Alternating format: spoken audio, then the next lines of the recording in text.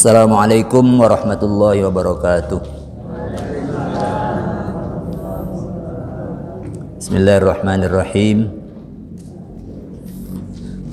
Alhamdulillahirabbil alamin wa bihi nasta'inu ala umurid dunya waddin. Wassalatu wassalamu ala asyrafil anbiya'i wal mursalin. Sayyidina wa habibina Muhammadi wa ala alihi wa sahbihi ajma'in. Amma ba'du. Para jemaah, Bapak Ibu sekalian, kita pagi hari ini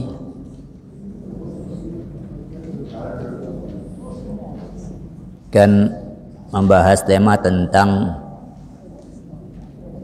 untuk siapa kurban boleh disalurkan. Kita sudah untuk-untuk ini masuk ke akan masuk ke waktu penyembelihan kurban. Nah pagi hari ini kita sedang berada di tanggal 8 Dzulhijjah 1444 Hijriah sedangkan penyembelihan kurban nanti dimulai dari setelah sholat id. Nanti pada uh, lusa hari Kamis yang akan datang. Di media sosial itu banyak bahasan tentang hari ini hari Arafah apakah masih hari Tarwiyah Di Quran itu ada satu ayat, satu-satunya ayat yang memberi panduan tentang kalender.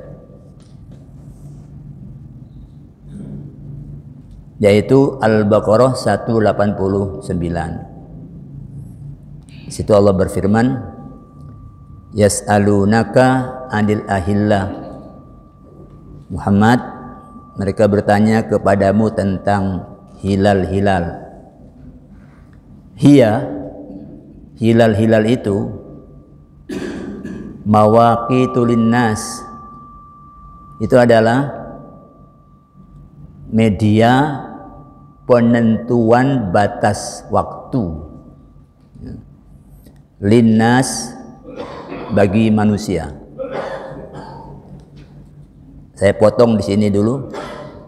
Hilal-hilal itu adalah instrumen atau alat untuk menentukan batas waktu bagi manusia. Pelakunya yang tahu ini sudah masuk batas atau tidak itu manusia oleh Allah sudah diberi apa namanya momen yang namanya kemunculan hilal. Manusia itu di mana? Di mana pun di permukaan bumi yang bulat ini, ya di Kebonsari, ya di Jakarta, ya di Selandia Baru, di Honolulu, di Mekah, di New York, di semua tempat itu makhluk yang namanya manusia itu oleh Allah disebar. Ya. Jadi wa, apa? Wa hamalnahum fil barri wal bahri. Kami angkut mereka di lautan maupun di daratan sehingga manusia itu menyebar. Nah, mereka-mereka ini itu oleh ayat ini bilang bahwa hilal-hilal itu itu acuan waktu bagi mereka untuk menentukan batas periode dari bulan. Baru setelah itu Allah menyebut wal haji. Ya. Begitu juga haji. Haji itu ditentukan oleh manusia berdasarkan apa namanya kemunculan hilal. Yang menentukan siapa? Ya tadi itu. Linnas itu yang menentukan adalah manusia. oleh karena bumi ini bulat maka momen kemunculan hilal itu itu tidak serentak di seluruh permukaan bumi.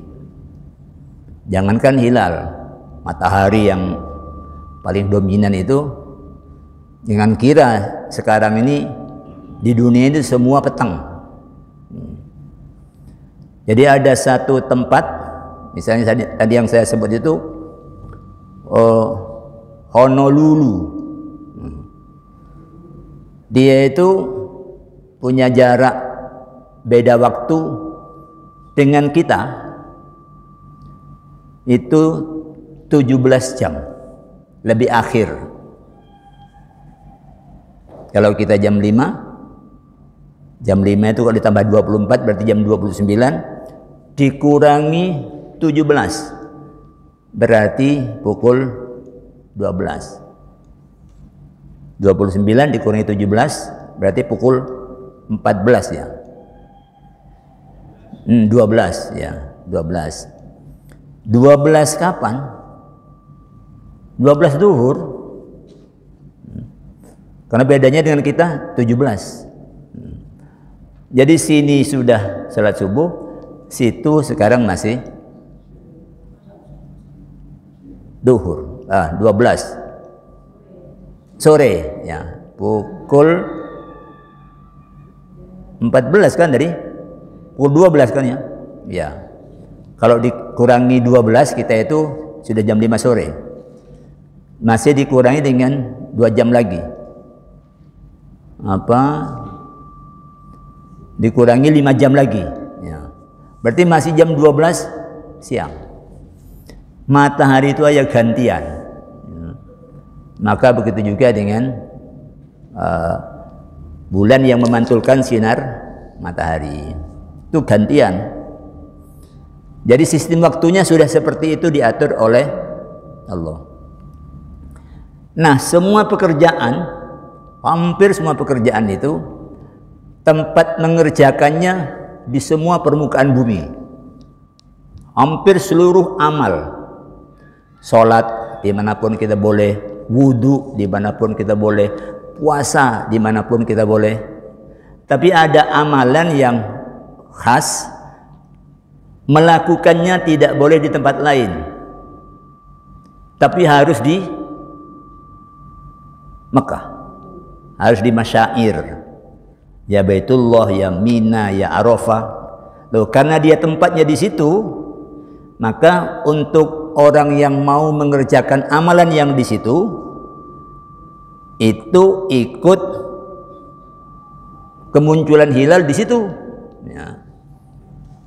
Karena tidak boleh dikerjakan di tempat lain. Sama juga dengan kita berbuka itu kan saat terbenam matahari. Di mana? Ya di tempat kita berada. Kalau kita berada di Honolulu, oh sekarang masih sedang siang ya. kapan mau berbuka puasa ya nanti 19 ah, 17 jam kemudian baru sana berbuka. Jadi kita ke mana pun kalau masih belum terbenam jangan buka puasa walaupun kebun sari sudah terbenam jadi itu sistem waktu itu setempat-setempat, tidak ada waktu global. Nggak ada. Karena wukuf di situ ya ikut waktu waktu setempat. Yang bikin orang rasa bingung itu itu. Karena Al-Baqarah 189 dianggap itu hanya urusan haji. Nah, urusan haji itu sama dalam satu sistem dengan dengan penentuan waktu yang oleh Allah sudah di, digariskan. Kamu tentukan berdasarkan kemunculan hilal. Di mana? Ya di mana kamu tinggal. Untuk haji karena tempatnya nggak boleh tempat lain iya sesuai dengan orang yang tinggal di Mekah. Hmm. Nah itu jadi negeri kita itu ada dua ada tiga ada yang karena ikut Mekah. Hari ini Arafah. Ada yang karena sudah me, memandang bahwa malam Ahad yang lalu itu, malam Senin yang lalu itu sudah masuk tanggal 1 karena bulan sudah di atas ufuk. Ada yang memandang itu belum tanggal 1 karena yang di atas ufuk itu baru bulan. Belum ada hilalnya, belum ada hilalnya. Jadi sebagian besar itu tidak ikut Mekah. Ya, yang puasa hari ini Arafah tidak semua ikut Mekah. Sebagian kecil aja yang ikut Mekah. Ya. Uh, yang satunya lagi hari ini Arafah karena menurut hitungan dia sudah ada komarnya berarti sudah masuk tanggal 1. Yang lain yang ini madhab pemerintah walaupun sudah ada bulan tapi hilalnya belum ada Walaupun ada atmosfer, tapi fajarnya belum ada. Fajar itu kan pantulan sinar matahari. Hilal itu juga pantulan sinar matahari oleh bulan. Jadi ini yang sering linasnya itu sering ditinggalkan. Dianggap hmm, 189 itu itu penentuan haji. Enggak. Orang menyebut ini untuk manusia di permukaan bumi sistemnya perhatikan hilal di tempat masing-masing baru haji dicantolkan karena ini amalan khas bukan hanya waktunya yang ditentukan tapi juga tempatnya ditentukan tidak boleh di tempat lain hmm. karena itu Nabi berpesan ke ke Amir Makkah ritual haji tentukan berdasarkan rukyat di Mekah. Ya. Nabi yang di Madinah itu sudah karena karena tempatnya di Mekah, ia tentukan berdasarkan waktu Mekah. Bukan berdasarkan waktu Irak, waktu Syam, enggak, berdasarkan waktu di Mekah. Ya. Oke. Tentang kurban kita sudah singgung uh, berkenaan dengan hukumnya, lalu syarat hewan dan waktu penyembelihannya. Kita sambung sekarang dengan beberapa segi yang lain. Pertama, yang uh, penting juga kita kenal di lingkungan ulama Syafi'iyah itu kurban itu dikaitkan dengan dua hal. Satu, untuk orang per orang ya, hukum kurban itu sunnah ain. Sunnah ain itu sunnah yang sifatnya perorangan. Untuk orang per orang tapi ini cukup satu kali seumur hidup untuk sunnah perorangan sunnah ain terus kemudian ada kurban kaitannya dengan rumah keluarga. Nah untuk ini sunnah kifayah setiap tahun.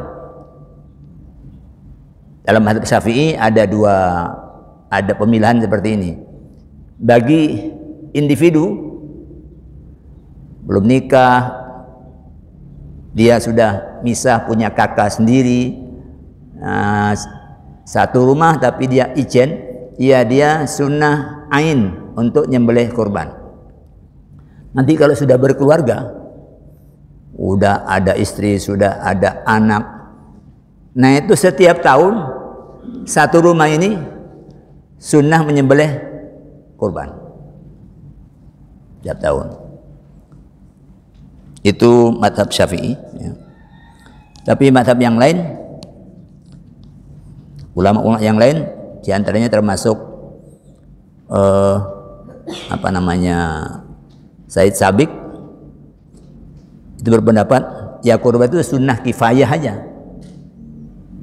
sunnah kifayah itu kata beliau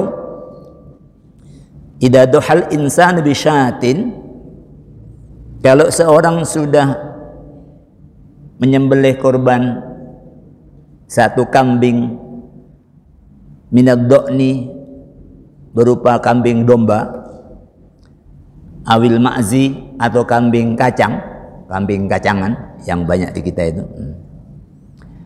Adza'at anhu maka korbannya itu cukup ya sebagai korban sunnah untuk dirinya wa an ahli baitihi dan untuk anggota keluarganya.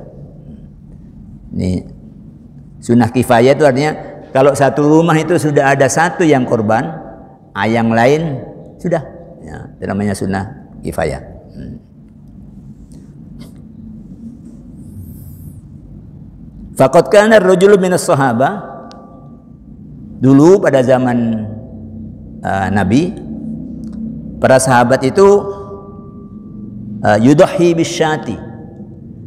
Mereka apa ya menyembelih uh, kambing. An nafsihi atas nama dirinya sendiri. Wa an ahli baitihi dan atas nama uh, ahli baitnya atas nama keluarganya.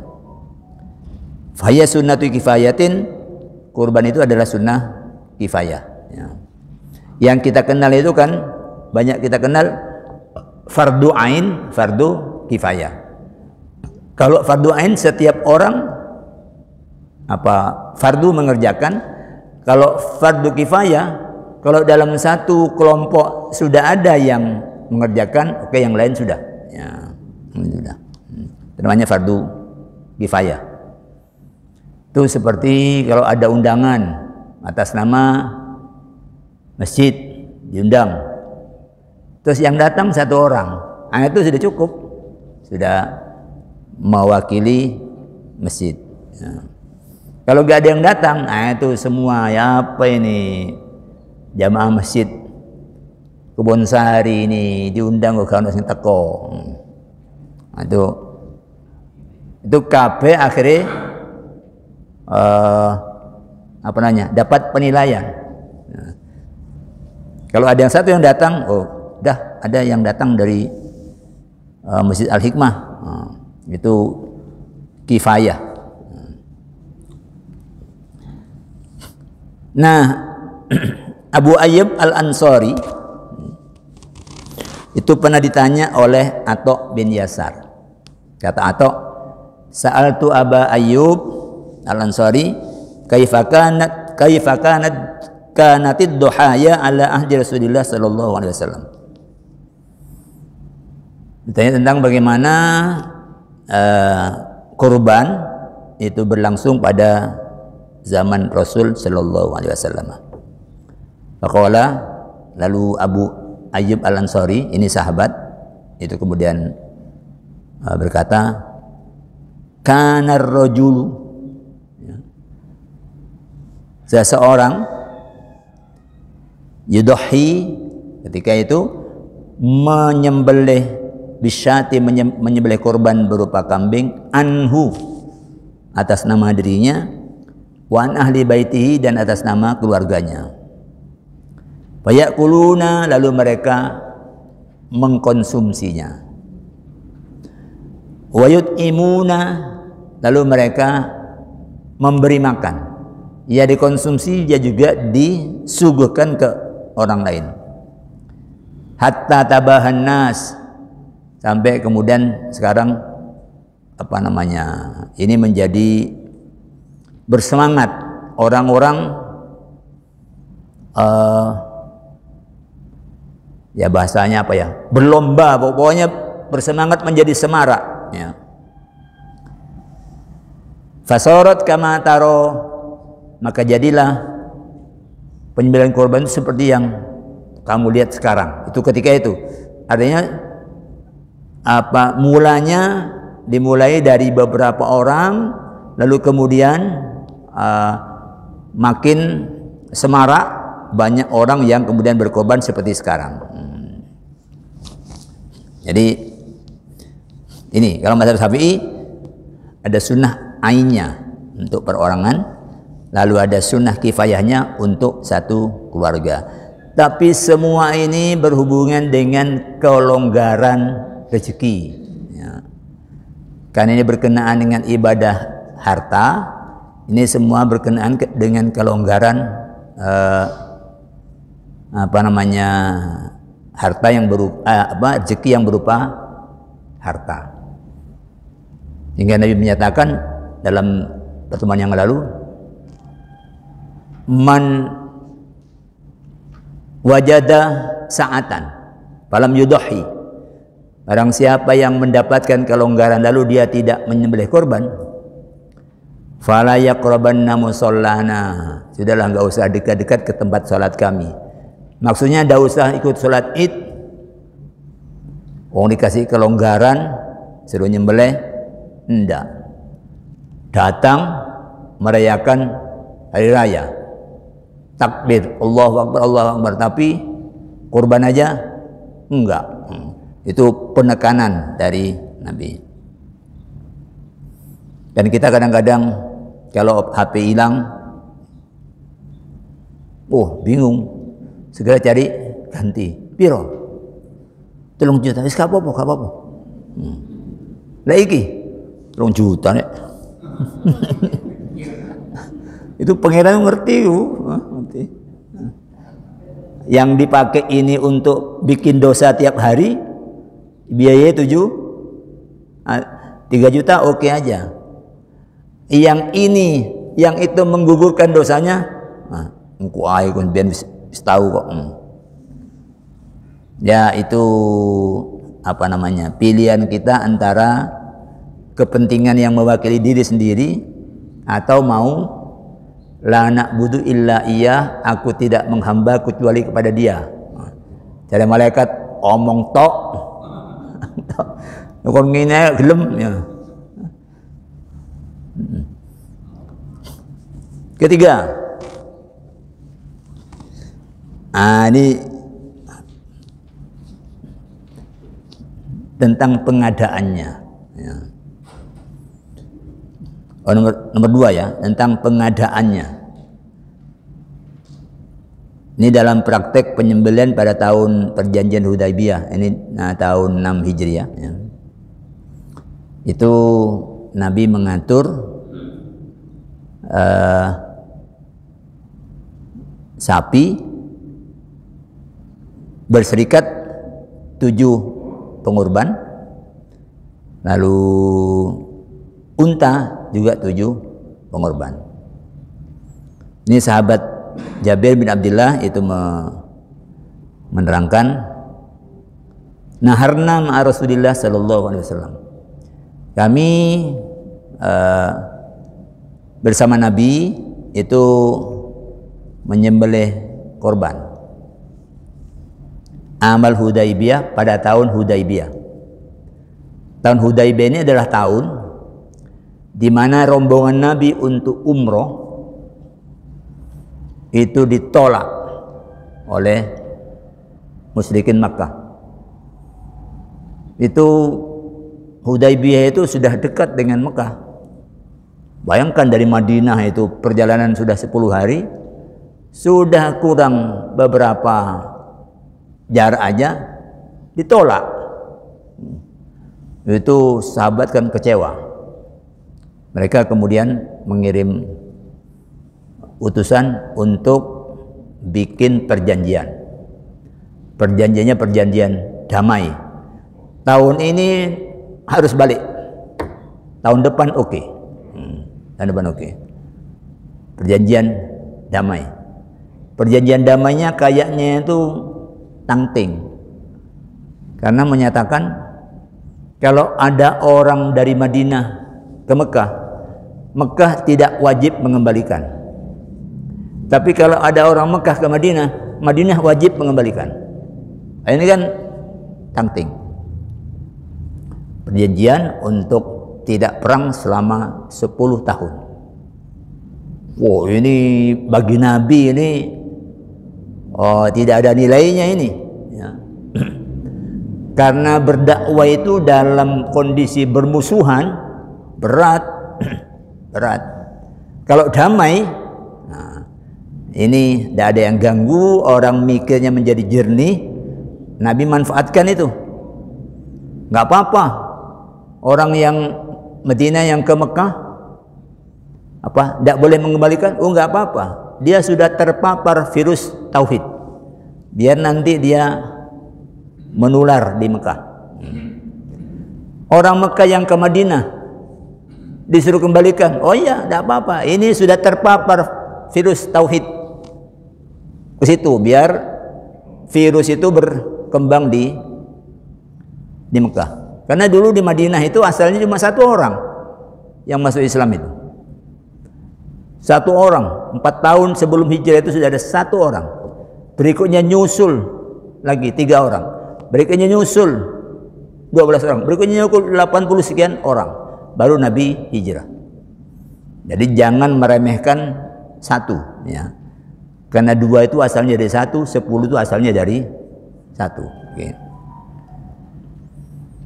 Nah ternyata perjanjian 10 tahun untuk genjatan senjata eh ada kabilah yang berafiliasi ber, bergabung dengan Quraisy kok membunuh kabilah lain yang bergabung dengan Nabi.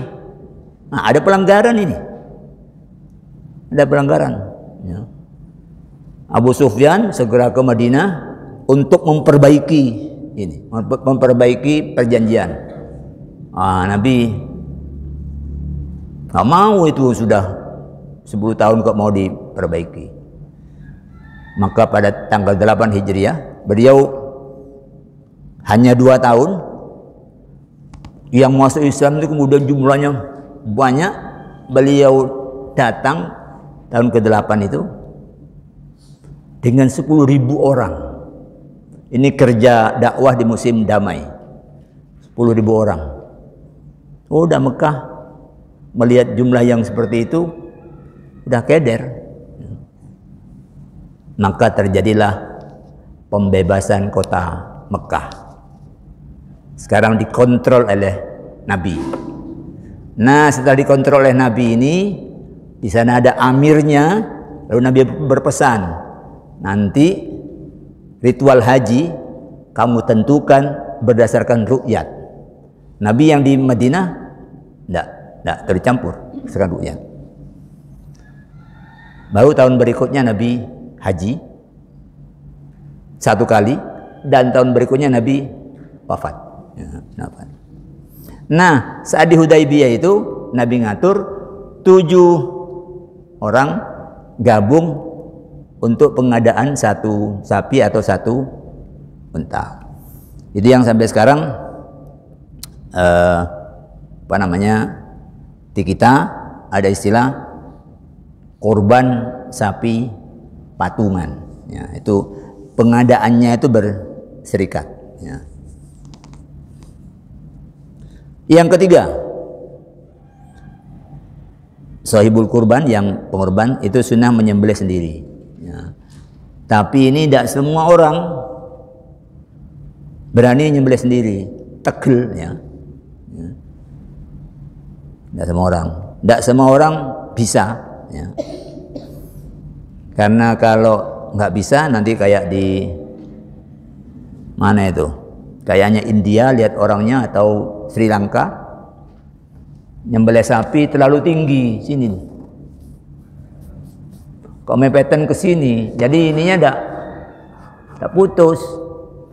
Setelah dia, dia oh, sapinya berdiri lagi, jalan dirobohkan lagi, disembelih di tempat yang sama. Habis itu dilepas, berdiri lagi. Ya. Itu tidak ngerti caranya nyembelih.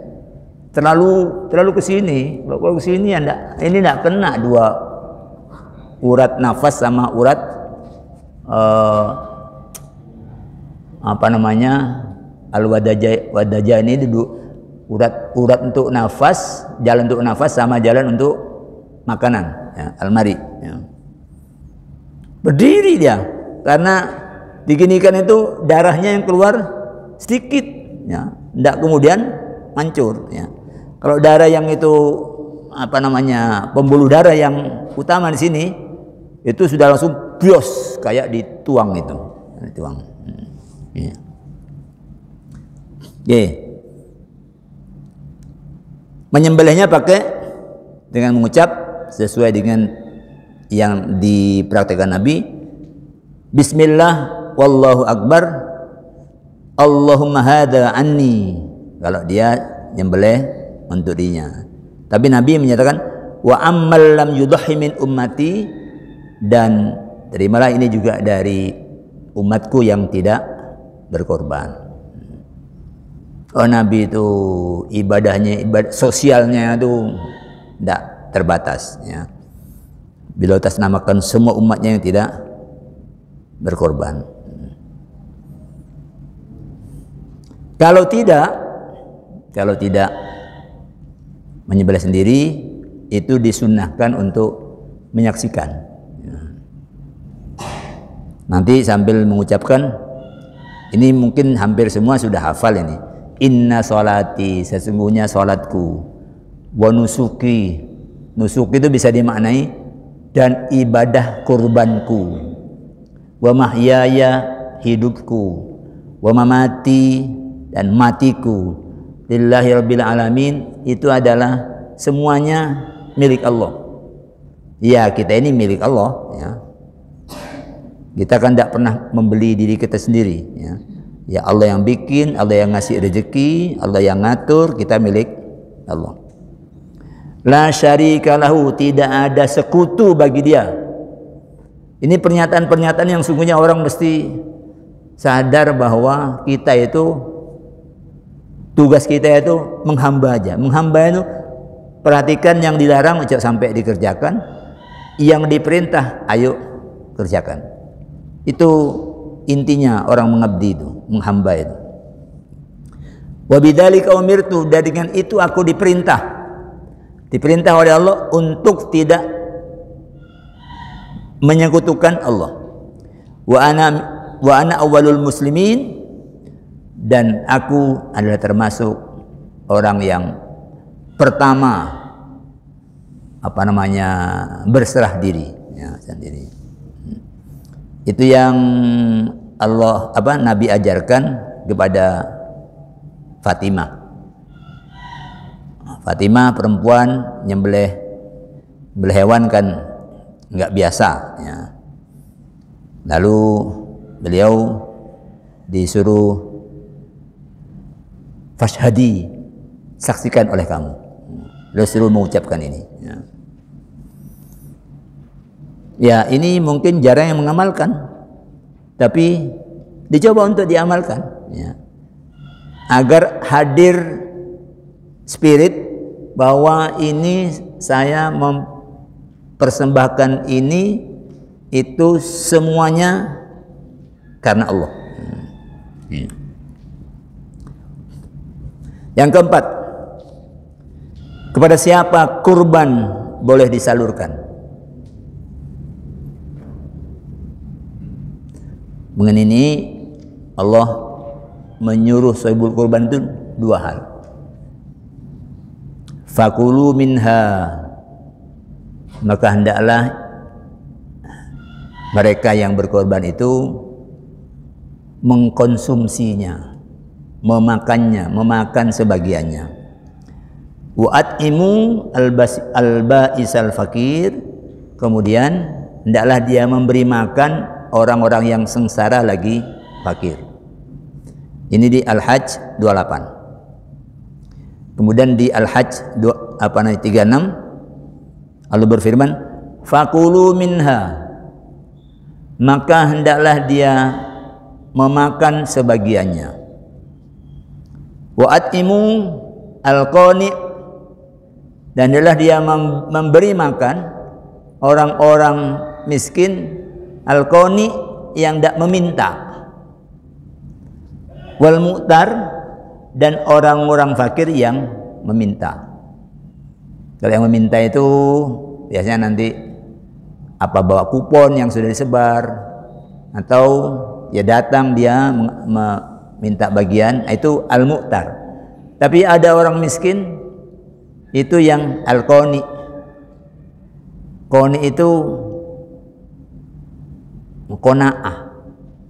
Dia sudah merasa cukup dengan yang ada, dia tidak suka apa namanya robos-robos orang untuk dapat bagian ya diteri ya diterima kalau tidak ya sudah ya. ini ditaruh di depan ini orang begini ditaruh di depan supaya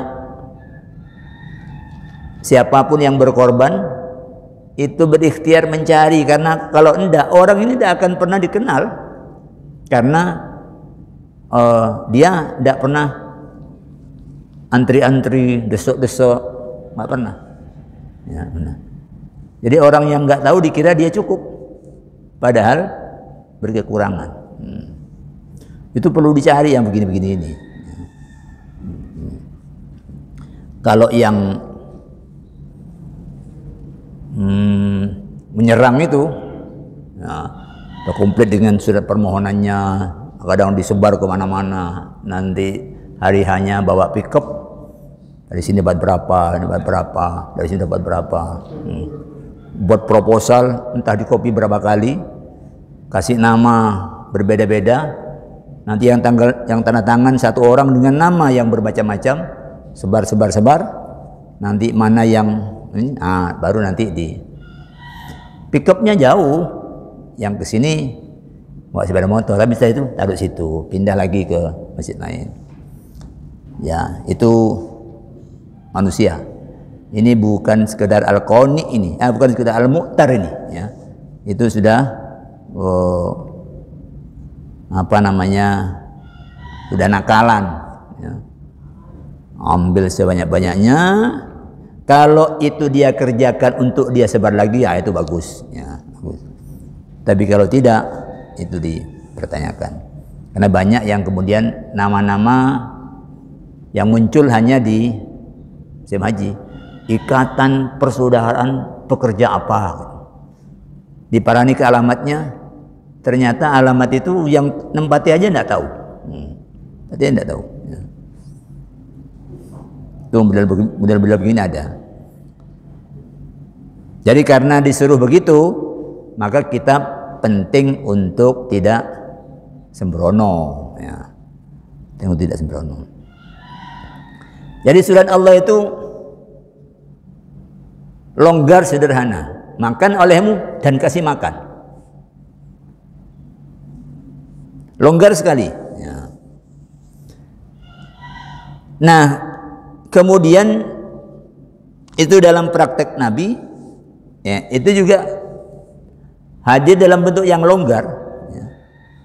jadi ada beberapa hadis yang menunjukkan bahwa ini tidak rigid tidak kaku ya, tidak kaku hmm. yang pertama ada keterangan dari Ibnu Abbas ya. Fi sifati uthiyatin Nabi sallallahu alaihi wasallam tentang bagaimana sifat dari korban kanjeng Nabi. Gambarkan yut'imu ahla baitihi as Beliau memberi makan keluarganya dari yang dia kurbankan itu as-thulutsa sepertiga. Uyut uyut imu fuqara'a jironihi as Lalu beliau memberi makan orang-orang fakir di lingkungan tetangganya itu sepertiga. Wa yatasaddaqu ala su'ali bithluti. Kemudian beliau juga uh, bersedekah pada orang-orang yang datang meminta itu sepertiga. Ya, sepertiga. Ini praktek karena kelonggarannya, ya, karena kelonggarannya. Tapi kemudian dengan itu ulama Hanafiyah dan ulama Hanabilah menyatakan sunnah ya, untuk membagi kurban itu dengan nisbah dengan nisbah itu uh, dengan perbandingan. Ini sepertiga sepertiga sepertiga. Nah, jadi sudah di, di dipilah ya. Ini jatah untuk keluarga ini jatah untuk lingkungan yang miskin ini jatah untuk yang datang meminta hmm.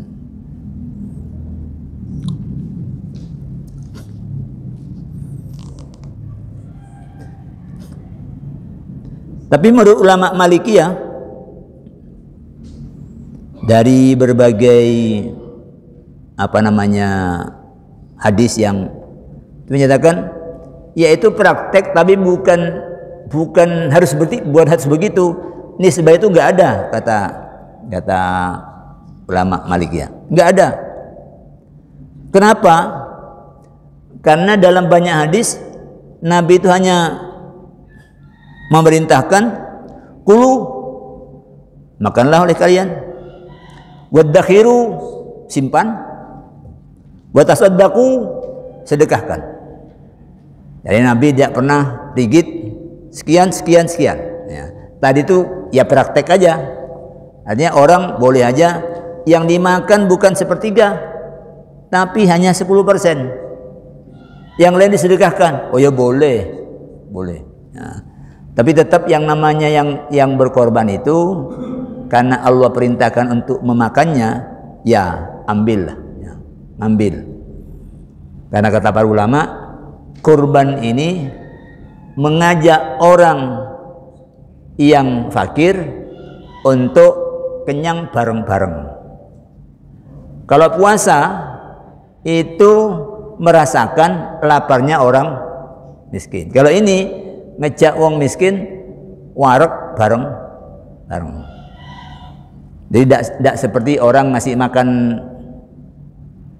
APT bukan BT kan hmm. Tapi enggak ini. Ini dia juga makan. Nah, juga, juga ngasih makan. Ayo ayo hmm, makan bareng. Nanti nilai sosialnya itu beda dengan wes untuk kafe wes panganan. Sing kene delok ini. Ya gak mangan. Ya. lek melok gabung mangan bareng itu siji nilai sosialnya. Gimana dengan menyimpan yang pernah sempat muncul di pertanyaan? Bagaimana dengan menyimpan? Hmm. Nabi pernah melarang menyimpan kurban lebih tiga hari. Artinya itu pokoknya cukup sampai hari tasrik lewat habis ya sudah sudah tidak ada lagi sisa daging kurban pernah melarang itu. Tapi kemudian oleh Nabi bahasanya itu larangan dicabut. Di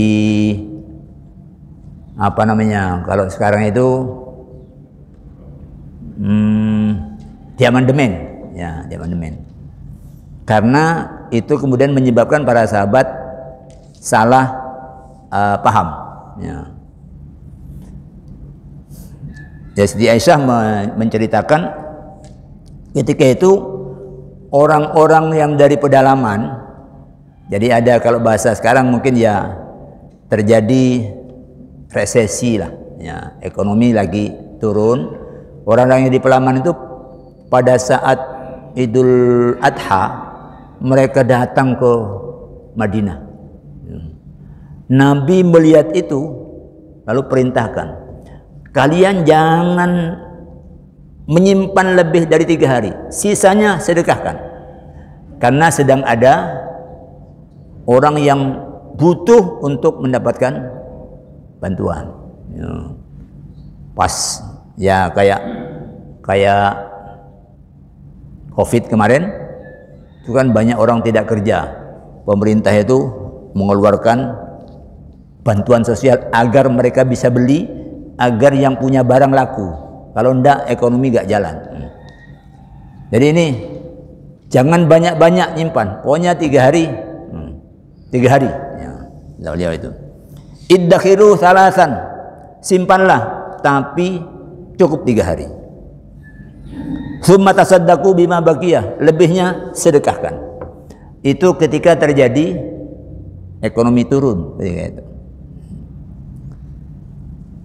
Falamma kana ba'da dzalika tapi tahun berikutnya ada sahabat yang apa curhat ke Nabi, ya Rasulullah, inna nasa yattakhiduna al-asqiya min duhayahum. Orang-orang itu menjadikan apa sebagian dari kurbannya itu untuk bikin apa tempat jadi apa wadah lah wadah ya. Tempat untuk minum. Ya kulitnya itu dibikin untuk tempat air. Hmm. tidak untuk kepentingan yang lain misalnya dibuat uh, kerupuk apa kalau kalau, kalau kulit itu. Tambah ya. Tidak ini dibikin tempat tempat air wayajbiluna minha alwadak lalu dari sebagian korbannya itu mereka peras untuk diambil minyaknya untuk diambil lemaknya. Lalu Nabi bertanya wa madzaka lu ada apa? Ada apa? Hmm. kok seperti itu? Nabi apa mereka kemudian berkata nahaita antu anta antu kala luhu buduhaya ba'da salasin nah, dulu kan panjenengan melarang. Untuk tidak makan apa daging kurban itu setelah tiga hari. Maksimal tiga hari.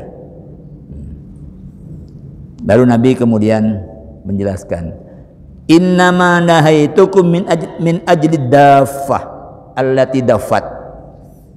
Sesungguhnya dulu itu aku melarang kalian lebih dari tiga hari itu demi untuk membantu orang-orang yang datang bertamu ke Madinah maksudnya itu datang ke Madinah untuk mendapatkan bagian dari kurban maka aku perintahkan itu sekarang ketika keadaan sudah menjadi lebih baik lebih baik fakulu waddakhiru watasaddaku. Silakan makan, silakan simpan dan silakan sedekahkan.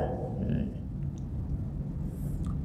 Artinya kalau yang punya kulkas naruh sekilo itu sampai sebulan ya tidak apa-apa. Tidak apa-apa.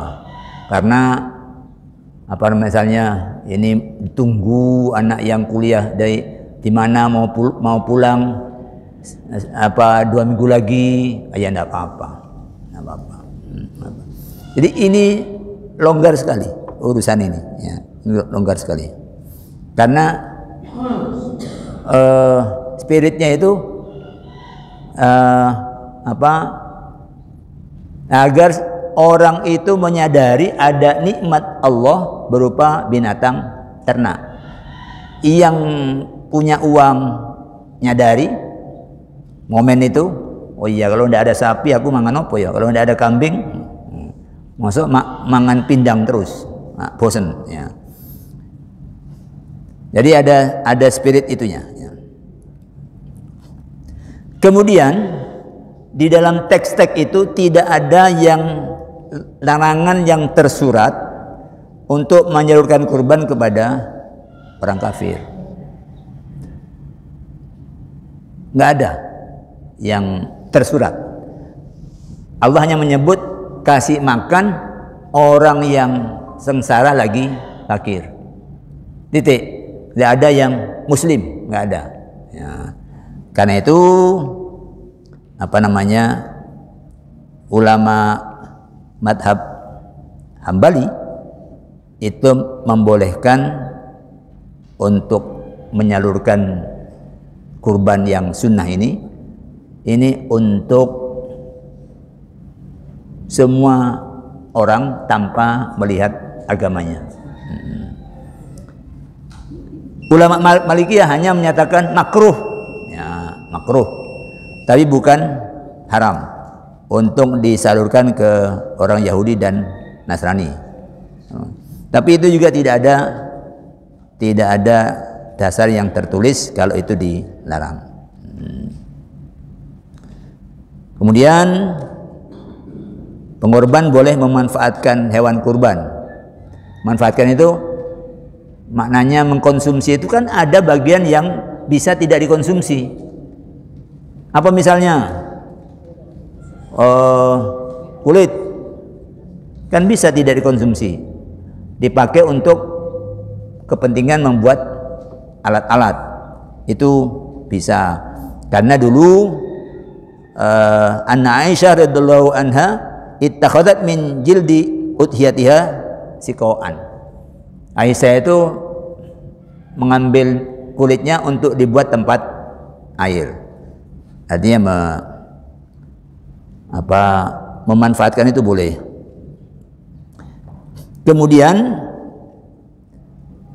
dilarang pengorban untuk menjualnya atau untuk menggunakan sebagian kurbannya untuk upah atau biaya operasional.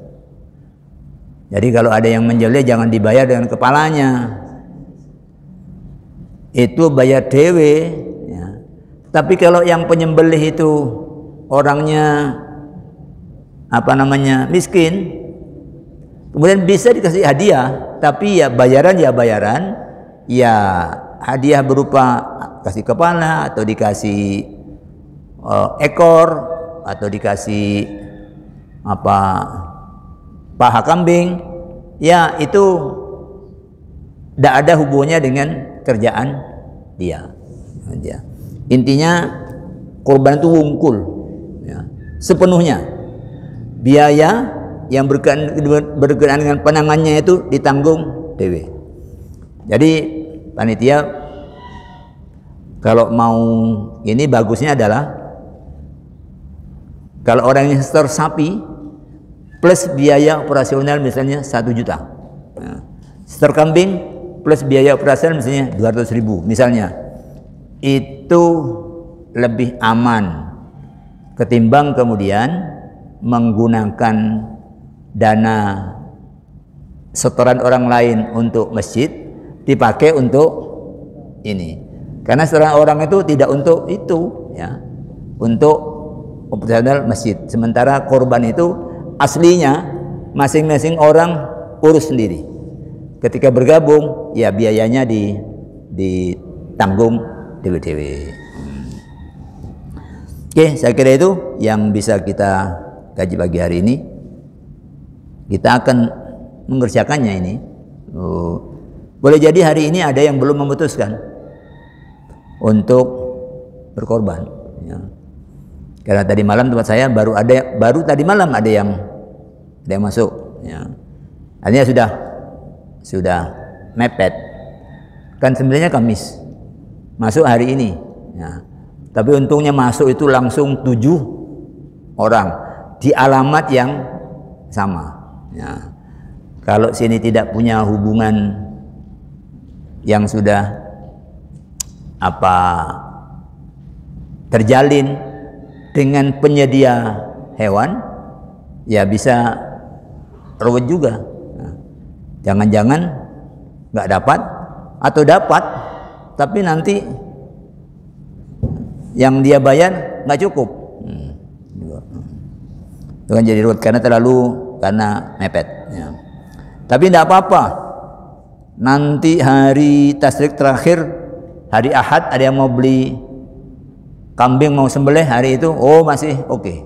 no problem ya, mungkin sekarang uangnya belum ada. Tiba-tiba kok lalu rapelan. Anu apa? Masuk ke rekening. Wah langsung korban. Ya, nggak apa-apa. Hmm. oke saya kira itu. Tinggal praktek aja ini ya, karena ini setiap tahun sudah jalan seperti ini. Kita tutup dengan hamdalah.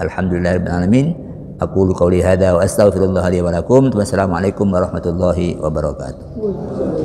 أستغفر الله رب البرايا. أستغفر